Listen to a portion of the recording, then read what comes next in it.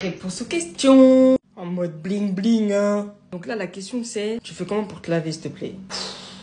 Cette question, je l'ai depuis que je suis sur les réseaux sociaux. Comment vous posez encore cette question? J'y ai déjà répondu plein de fois. Non, mais en fait, moi, ce qui me termine, les gars, à quel moment vous vous demandez comment je me lave? Parce que je suis en fauteuil, je vais dans un lavage automatique. J'ai mon masperce de Karcher. Moi, c'est en mode car wash. En fait, ce que vous voulez, vous voulez que j'aille dans la douche. Attendez, on va y aller, vous allez voir. Voici la baignoire. Il y a un petit tabouret, tout ça. Et je vais vous montrer comment je rentre pour me laver. Voilà. Et pour sortir, ah Le tabouret, il était mouillé. Oh, oh la dé Du coup, pour sortir, ce que je fais, c'est ça. Hop, j'attrape mon fauteuil, j'attrape ici, je me bascule, je m'avance. Voilà, là, je me mets comme ça, poignet.